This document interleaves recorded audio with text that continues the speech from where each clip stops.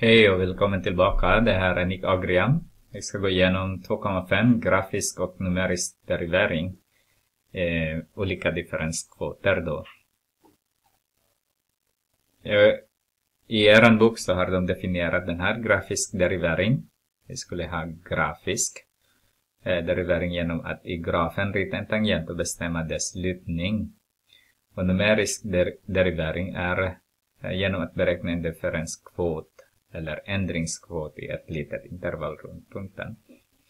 Så det den som jag ska göra nu är eh, olika differenskvoter då. I er bok så finns tre olika kvoter som ni ser här nu. Den första kvoten är att om det har en punkt här, jag hoppas att ni ser min, eh, vad heter den, min kursor, kur, kursor pointer. Eh, men jag, jag gör så här. Där en annan penna där. Så den här som jag gör med röd nu, det här är min punkt som jag vill veta. Eh, lutningen på den. Så tar jag en lit, lit, litet, adderar jag ett litet, litet H. Och sen dividerar jag med H sen. Så kan jag få en, ett närmevärde där. Men man kan göra också omvänt. Alltså, jag subtraherar istället, så den här kan jag använda. Så jag subtraherar ett H väldigt, väldigt litet h från den här punkten som jag vill ha. Eller x-värde på den. Men man kan säga central, alltså jag, jag eh, vad heter det nu då?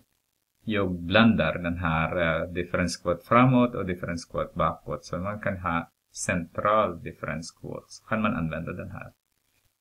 Eh, varför måste man använda sådana? Jo, eh, ibland så har vi fortfarande kanske du som läser 3B eller 3C så har du inte gått igenom alla deriveringsreglerna i det här um,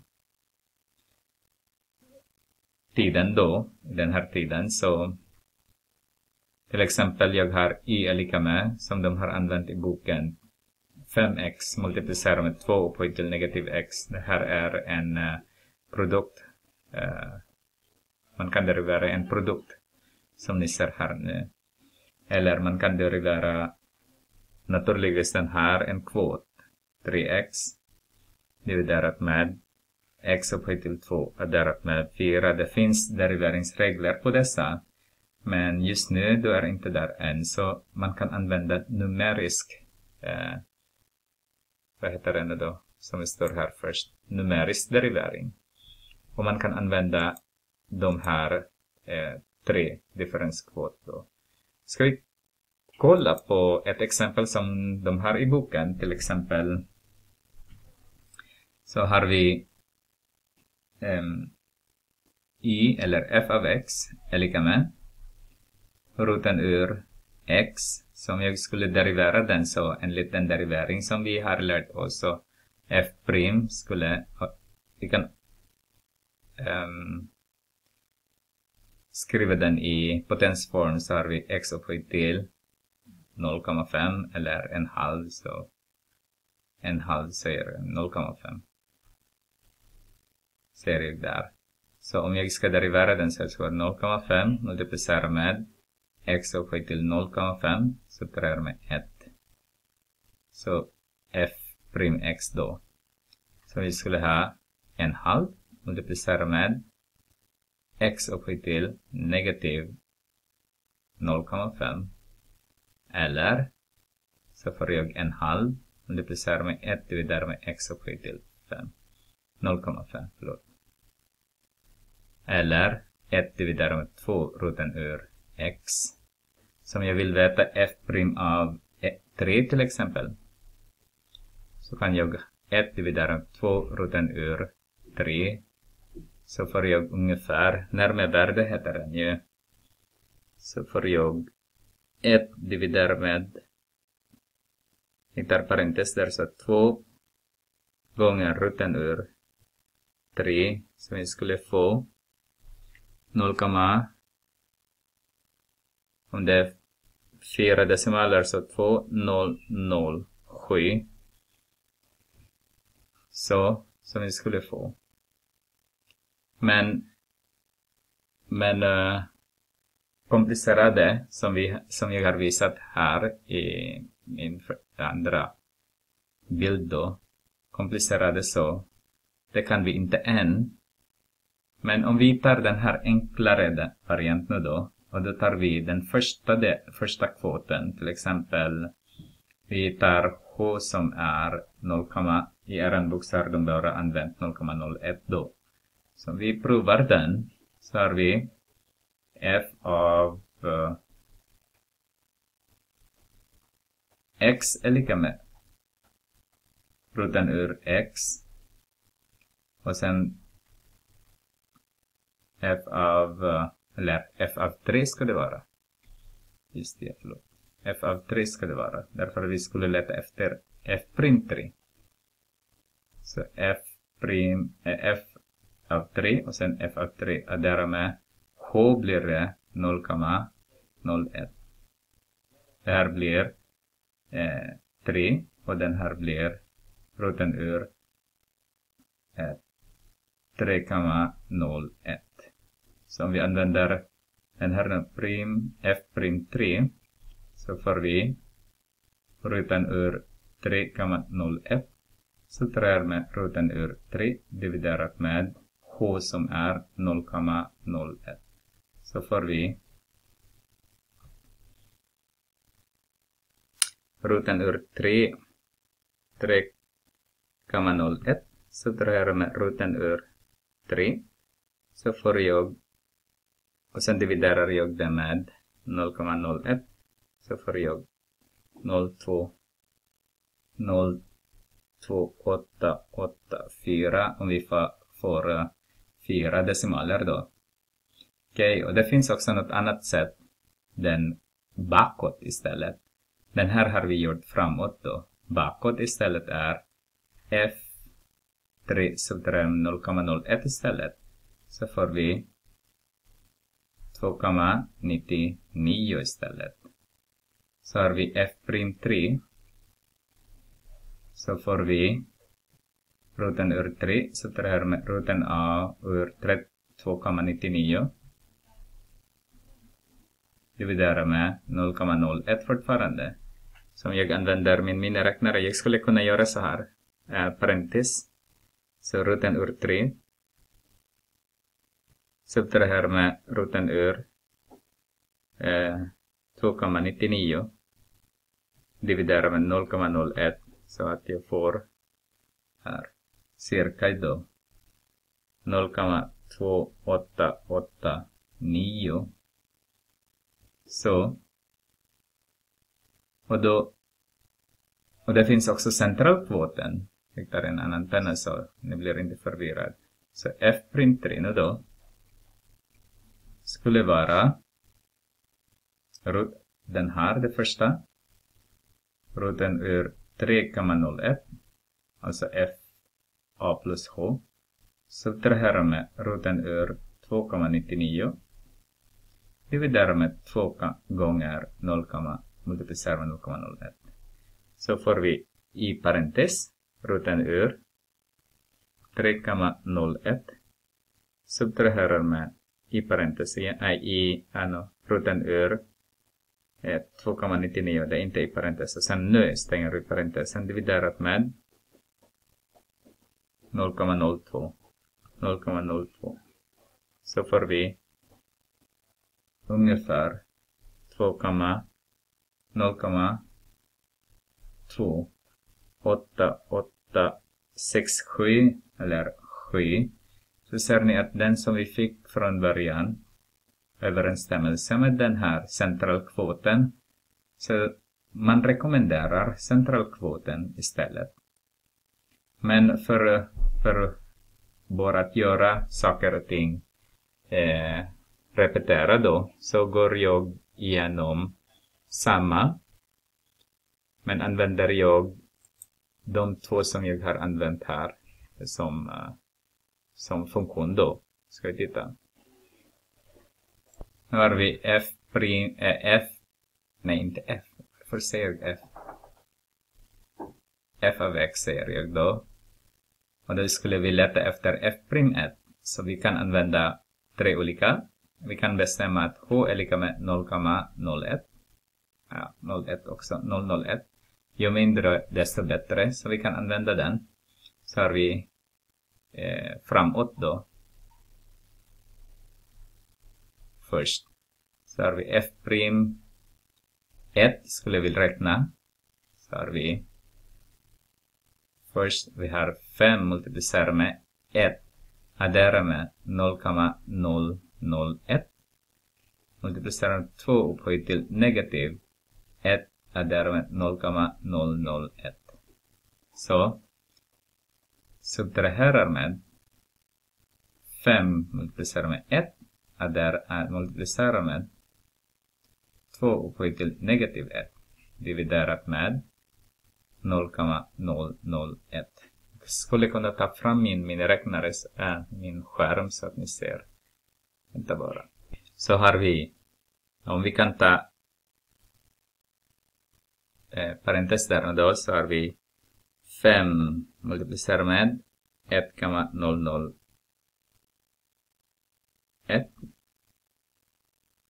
så multiplicerar med 2 upphöjt till negativ 1,001.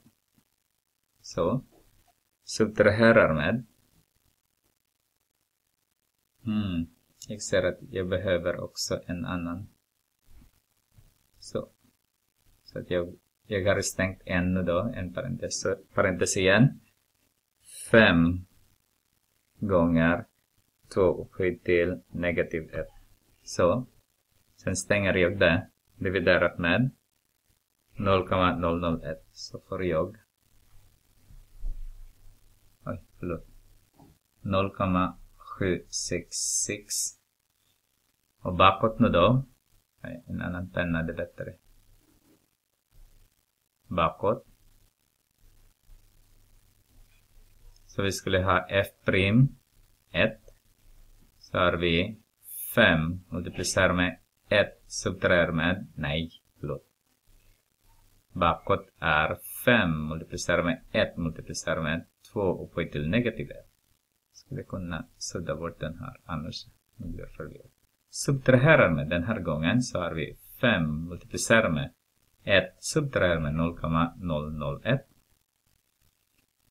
Multiplicerar med 2 upphöjt till negativ 1 subtraherar med 0,001 dividerat med 0,001. Så vi gör exakt samma som vi har gjort innan. Så sätta fram min räknare där. Men den här gången tar vi skriver vi där 5 multiplicerat 2 upphöjt till negativ 1 subtraherar med 5 jag kan ta parentes där. Där behöver jag inte ha parentes egentligen. Ah, vi gör det. Det är lättare. Parentes gör att uh, maskinen vill med räknaren vet vad den ska räkna först.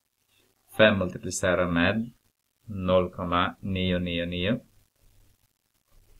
Så multiplicerar, inte komma. Multiplicerar men vad händer nu? Multiplicerar med 0, nu. Bättre. Eh, multiplicerar med 2 upphöjt till negativ 0,999. Så. Och sen dividerat med 0,001. Så ser du att vi fick, vad fick vi? 0, 7, 6, 8, 3. Nu vi ska ha central, men jag vill ha en annan penna. Central. Nej, varför B? C ska det vara. Central. Så har vi F'1. Så får vi eh, 5 multiplicera med den här då, den, bara den här delen. 5 multiplicerar med 1,001 så med 2 upphöjt till. Negativ 0, en 1, 001. Subtraherar med 5 multiplicerar med 0,999 multiplicerar med 2 upphöjt till. Negativ 0,999. Dividerat med 2 multiplicerat med 0,001. Så mina räknare igen. Ni ser inte allt men eh, ni såg det innan så vi gör så här. Så får jag 5. Kanske om jag kan ta 2 så. 5. Multiplicerat med 1,001. Där, där är vi där. Multiplicerat med 2 upphöjt till negativ 1,001. Och sen subtraherar vi det med 5 multiplicerar med 0,999 multiplicerar med 2 upphöjt till negativ 0,999. Och sen dividerar vi med 0,002. Därför är det två gånger så. 76, 71 så ser vi att 0,76 71. Så ska vi titta vilken av de tre som är närmast egentligen. Ska vi kolla på vad miniräknare säger. Så jag ska ta fram min miniräknare och jag ska lära er en sak. Därför ni kommer att använda det på det här sättet. Så om ni har i Shift, om ni trycker Shift och sen 4, där får ni hela katalogen. Så ser ni den här. D dx. Det betyder att den ska visa till er, eller räkna för er, vad är värde av derivatan. Ska vi titta? Så om vi skriver så, så får ni den. Enter alltså. Så om ni... Okej, okay, jag gör en gång till. Shift. Så får ni katalog i fyran. Så. Sen om ni räknar den så klickar ni exit. Så får ni den. Sen skriver ni naturligtvis den som vi räknar. Vi räknar 5 och sen x där. Multiplicera med 2 upphöjt till negativ. Jag, jag klickar den här med negativ med parentesen där. Negativ x då.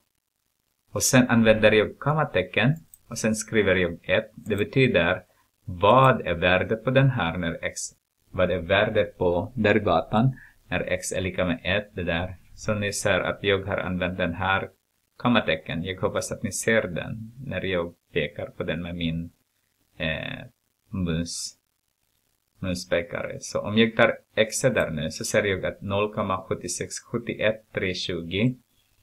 Om jag ska ta fram min skärm, andra skärm så får vi 0,767132. Och vi fick till och med eh, två, sex rätta när vi har använt det centrala. Så det är den som är rättast egentligen, så rekommenderar man det centrala kvoten då. Okej. Okay. Ska vi titta på den nästa. Ja, den har jag gjort redan, men den nästa som jag, har, jag skulle visa er att den här, den här. Ska vi kolla och sen använder vi miniräknare sen. Men innan jag gör det så jag tror jag eh, avslutar här. Och uh, in i min nästa video så är det inte för långa videor som ni kommer att titta. Jag kommer att göra eh, den här då. Med alla de uh, quotes som kom, som eh, ni har hittat här. Och sen jag kommer att göra den här eh, som finns i er bok och den här som finns också i er bok. Nej, nej det här är fråga redan. Den där kan jag göra senare. Okej? Okay? Så